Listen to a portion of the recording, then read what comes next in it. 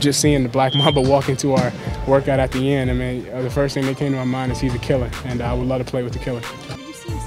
I do. I see him right now. Yeah. So uh, actually, he he saw me play in the Drew League once. So I don't know if he remembers that. Did you happen to notice Kobe sitting on the sidelines over there? I did. I did at the end of the workout. I saw Kobe, uh, and uh, that's definitely to see Kobe. You know, that close to me is definitely uh, something that you know I definitely uh, like.